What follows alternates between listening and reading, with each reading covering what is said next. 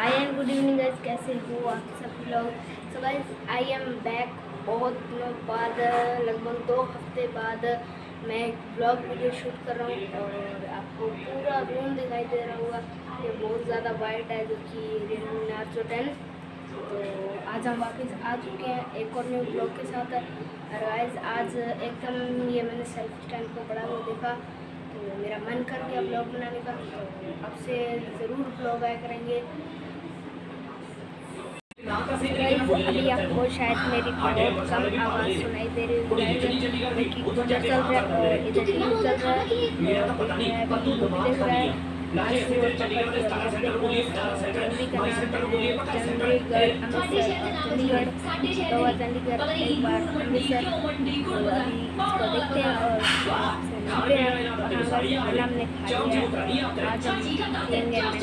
पहले तीन चार दिन पहले पी लिया था तो अभी मेरी आवाज़ कैसे आ रही है तो पता नहीं।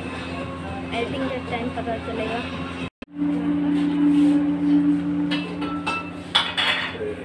रहा गाइस हमारा मैंगो जिसका आज हम शेक बनाएँगे और पियेंगे तो अभी ये बनना शुरू होगा सो गाइस अभी आप कैमरे की जो कि क्वालिटी है, वो बताना कैसी आ रही है। तो अभी मैंने जो कि रियर कैमरा है, उससे ब्लॉक कर रहा हूँ और फ्रंट कैमरे से मैं अभी नहीं कर रहा हूँ। तो क्वालिटी बताना, अच्छी आ रही है, बुरी आ रही है? सो so गाइज़ अभी हमारा मैंगो जो कि कट हो चुका है और मिक्सर के अंदर डाल दिए तो अभी इसको मिक्स करते हैं। सो so गाइज़ अभी इसमें दूध डाला जाएगा। तो अभी इसमें दूध भी डाल रहे हैं। तो इसमें दूध डाल दिया और इसके बाद चीनी डालेंगे। सो गाइज़ ये है चीनी जो कि अभी हम इसके अंदर डालेंगे। तो अभी ये चीनी भी डाल दी है। अभी हम इसको, इसके ऊपर रखेंगे और इसका ढक्कन जो कि बंद कर दिया और ये अभी मिक्स हो जाएगा और उसके बाद ये मैंगो शेक बन जाएगा अच्छी तरह से।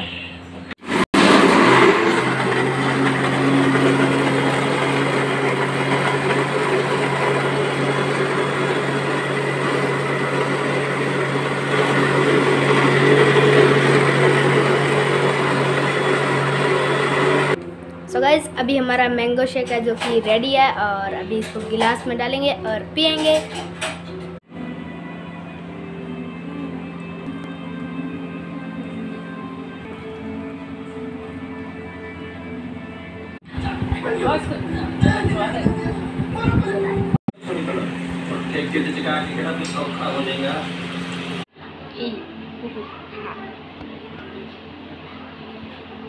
सो so अभी हमने जूस भी पी लिया और उधर टीवी की आवाज़ आ रही है, इसलिए मैं इस रूम में आ गया हूँ।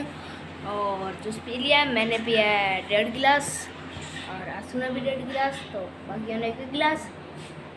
और गैस अभी देखते हैं अगर क्या सीन है तो अभी सोने का ही सीन है टी देखे तो देखेंगे क्या सीन होगा। गुड मॉर्निंग गाइज़ कैसे हो आप सभी लोग गाइज़ और मैं उठ गया था छः बजे गाइज़ और अभी छः फोर्टी फाइव तो पूरे पैंतालीस मिनट बाद मैंने ब्लॉग भी शुरू कर दिया गाइज़ और अभी देखते हैं कोई क्या सीन और कूलर चल रहा है। और मेरी आवाज़ का मुझे पता नहीं कैसी आ रही होगी। कूलर की वजह से। सो गाइज़ पीछे जो इंडियन नेशनल तालाब जो कि आपको दिख रहा होगा इंडियन नेशनल नहीं मज़ाक कर रहा हूँ। तो गाइज़ ये खाली हो चुका है, जो कि हमारा तालाब है। पूरी तरह से नहीं हुआ, अभी भी इसमें थोड़ा बहुत पानी है। इसका पानी उधर वाले जो बड़े ग्राउंड में निकाल दिया गया था और वहाँ पे सूख भी गया पानी।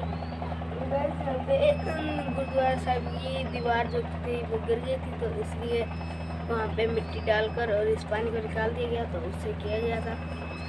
सो so गाइज़ अभी का टाइम हो रहा है सवा आठ और गाइज़ मैं सात बजे नहा के रेडी हो गया था तो अभी मेरे को एक घंटा और पंद्रह मिनट हो चुके हैं गाइज़ तो अब मैं व्लॉग कर रहा हूँ और देखते हैं अभी खाना बन रहा है और खाना खाते हैं और उसके बाद आपसे मिलते हैं।